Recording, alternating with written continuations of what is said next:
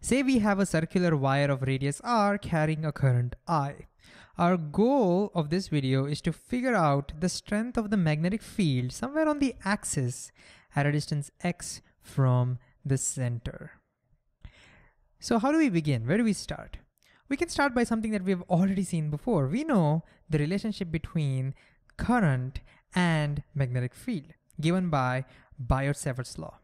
It says that if you have a tiny piece of wire of length dl, which carries the current I, and if you want to calculate magnetic field at some distance r, making an angle theta, then that magnetic field is given by dB, that's the that's that that is a very small magnetic field because it's a very small wire, equals some constant times the current times dl, that's the length of the current elements times sine theta, where sine of this angle divided by r square. And we've seen before that this is very similar to, not exactly the same, but pretty similar to Coulomb's law, which tells you the strength of the electric field due to a charge. This one tells you the strength of the magnetic field due to a current carrying small element. So what we could do now is we can divide this entire loop into tiny, tiny pieces, calculate the magnetic field at this point due to each piece, and then integrate over the entire wire. So that's the strategy that we're gonna use.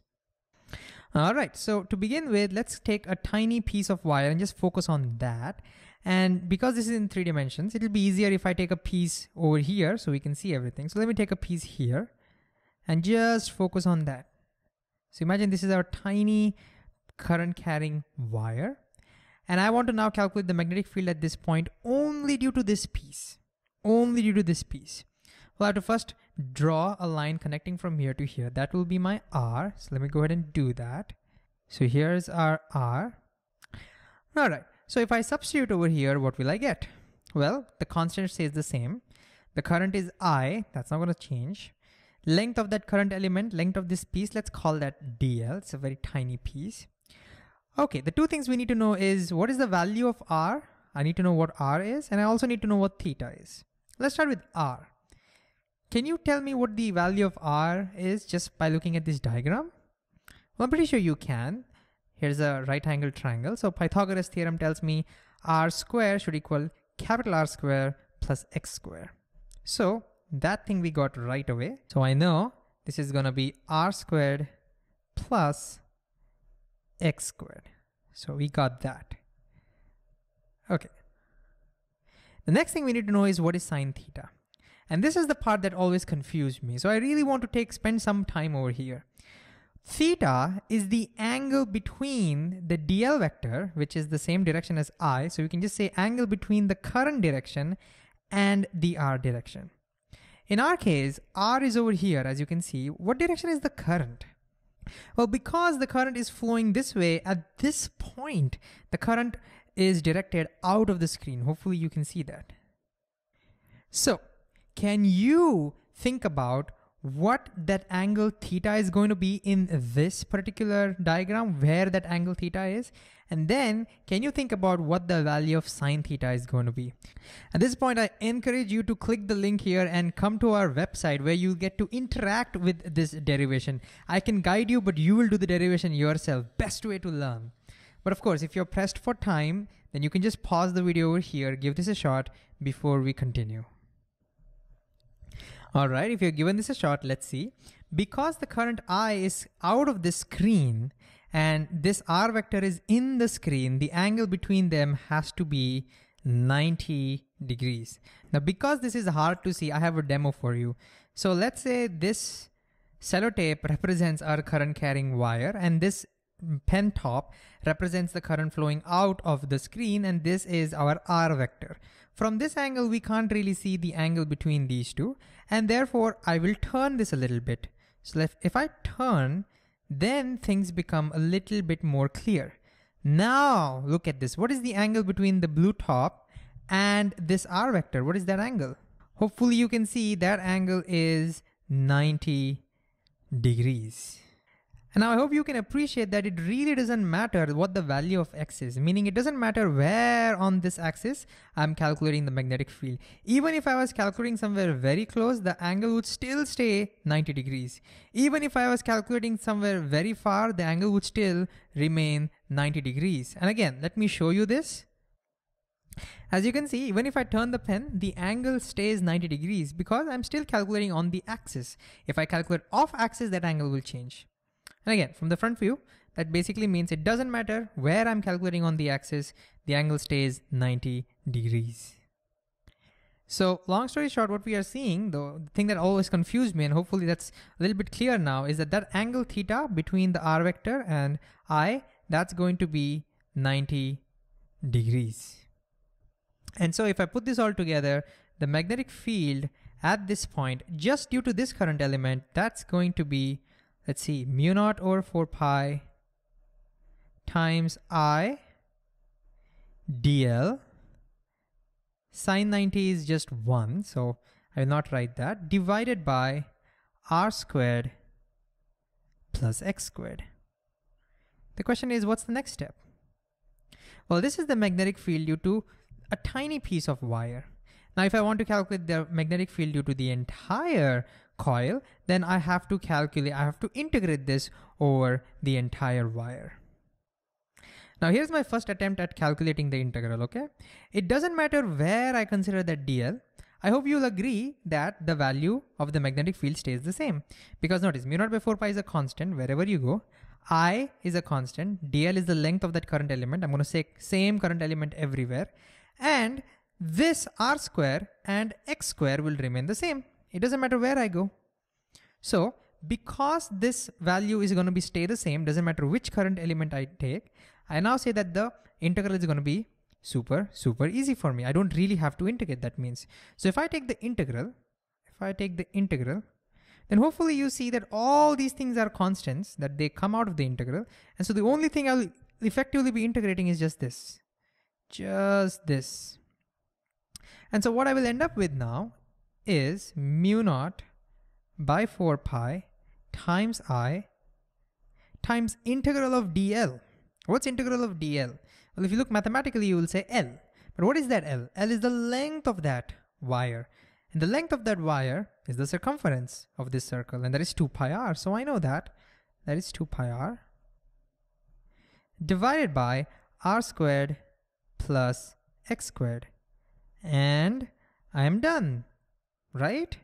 Well, no, I'm not done. There's something I haven't taken care of. And I want you again to think a little bit about why this method, why this approach is wrong. What haven't I taken care of? Pause the video and give this a try. Hopefully you've given this a try. The thing that we didn't take into account is the direction of the magnetic field. Remember, magnetic field is a vector quantity. So we know that the magnitude of the magnetic field due to each of the tiny section is exactly the same. But do we know for sure the direction is also, also going to be the same? Only then we can add them up. If the direction is not going to be the same, then we need to you know, take care of that. So let's now focus on the direction of the magnetic field. And how do we get that? Well, Biot-Savart's law, sorry, Biot-Savart's law, what do you know call that?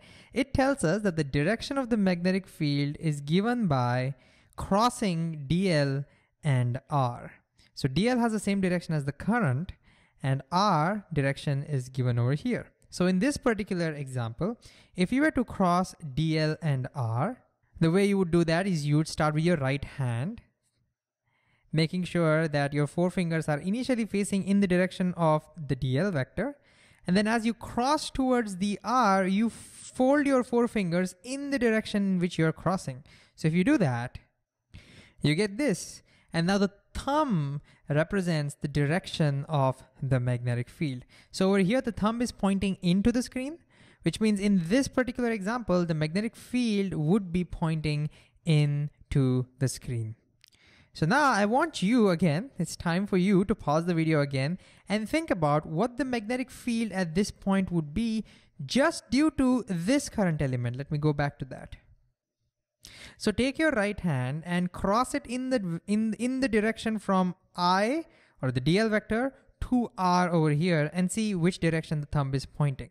And just, you know, one thing to keep in mind is that when you do a cross product, the product will always be perpendicular to both the vectors. So in this case, notice that DB will be perpendicular to both DL or I and R. And so the dB is into the board and therefore they're perpendicular to both. So that's one thing to keep in mind. Whatever answer you're gonna get needs to be perpendicular to both the current and the R vector.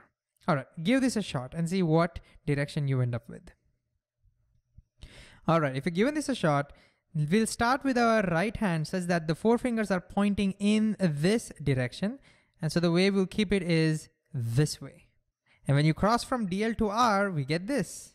So notice the thumb is pointing in this direction and therefore the magnetic field at this point will be this way. And notice that magnetic field is perpendicular to R vector. It's also perpendicular to I vector or DL vector, I is not a vector, DL vector, but the direction of the current. And that is, and that is because current is coming out of the screen, so it'll always be perpendicular to this. Now think about this. Do you think the magnetic field due to every single current element will be in this direction? Highly unlikely. In fact, if you were to take, let's say, the magnetic field due to a, you know, a tiny piece over here, the current over here points inwards. And so if you were to use your right hand rule, now you will find that the magnetic field is not in this direction, in fact is in this direction. Again, you can go ahead and give this a try yourself. And so in fact, now if you were to calculate the direction of the magnetic field due to every single piece on that current element, you would now find that all these magnetic field vectors will be in this direction, sort of forming a cone. So they will have the same magnitude that will all that we have found out already, but they will have different directions. And that's why we couldn't directly add them. So now comes the question, what do I do? I need to do a vector addition. That sounds complicated, but here's the way I like to think about it. Imagine these were force vectors. imagine you know something was being pulled in all direction this way with the same magnitude of force. Tell me what will be the resulting direction? Think about it. All of them are being pulled in all the direction. What will be the resulting direction? Well, the resulting direction cannot be inclined towards any one side. It cannot be towards the right or it cannot be towards the left. It cannot be towards the front or back because everything is symmetric. So the only direction it can go is along the axis. Interesting, isn't it? Another way to say the same thing is we could say if we take each and every vector and let's say decompose it into two components, one along the axis and one along perpendicular to the axis, then along the axis, all of them add up. But if you look at the vectors perpendicular to axis, the components perpendicular to the axis, then you would see these are all the components perpendicular to the axis. They will all cancel out. They will all kill each other. And so the only component that really matters that contributes to the total magnetic field is the axial component. And so all I need to do is figure out what's the component of our magnetic field along the axis of our coil. And then once I, I calculate that, then I can integrate that because I know they are all adding up. Does that make sense? All right. So how do I do that? How do I figure out what's the component along the axis? Well, you might already recall. Again, this is uh, your uh, vectors. So you may recall to calculate the component along the axis, I can use trigonometry. So if this, let's say, is the component along the axis, let me call that dB axis. Then if this angle is say alpha, I already used theta, then notice from trigonometry, we can say this vector is dB times cos alpha. Can you see that? I'm pretty sure you can do that. If you take cos, you'll get adjacent side divided by the hypotenuse. And so the dB axis, the component of the magnetic field along the axis is going to be this. Let me just copy paste that. Paste it over here. dB times times cos alpha. Cos alpha. And so the last thing I need to do before I integrate this is find the value of cos alpha. And again, I want you to give this a shot. This is the last thing I would want you to try. And again, you might say, how do I know the value of cos alpha? Well, look carefully. This is like a geometry problem now. Physics is already done. We're now into mathematics, okay? Can you somehow use geometry to see what you know alpha would be in this particular triangle and maybe then by using this triangle you can figure out what cos alpha would be. So again, I want you to give this a shot before going ahead. All right, if you've given this a shot, let's see. We know that this total angle is 180 degrees. 90 gone. So this plus this should be 90 or this should be 90 minus alpha. And again, in this triangle, since this is 90, that means this should be alpha. Did you get that? And now from here, I can calculate what cos alpha is. Cos alpha is going to be adjacent side r divided by small r. So if I just copy and paste this down, cos alpha is going to be capital R divided by small r, but I know the value of small r. Small r is the square root of r square plus x square. It's the hypotenuse. And so now I'm pretty much done. I know now that due to each and every single element, the magnitude of the magnetic field is going to be, along the axis is going to be this number. And so now I can go ahead and integrate this. And so if I integrate this, just like before, everything is going to be a constant. The only thing to integrate will be dl. So again, since there is no space, I'm just gonna integrate, show that integration over here itself. So the total magnetic field along the axis is just the integral of this. And if the integral of dl is just like before we said, the total length, which is going to be 2 pi r. And of course, you can finally simplify it even further, but I'm just gonna leave it as it is. We don't have space or time and the direction of the magnetic field will be along the axis. And again, if you want to remember what direction that is, then you can again use your right hand thumb rule. Make sure that your four fingers are giving the direction of the current. Then the thumb represents the direction in which the magnetic field will be pointing. It will be along the axis and the thumb will represent that.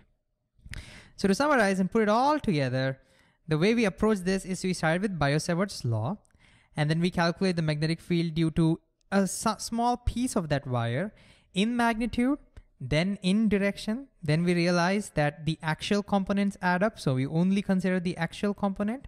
And then finally, we integrate it over the entire loop to calculate the total magnetic field.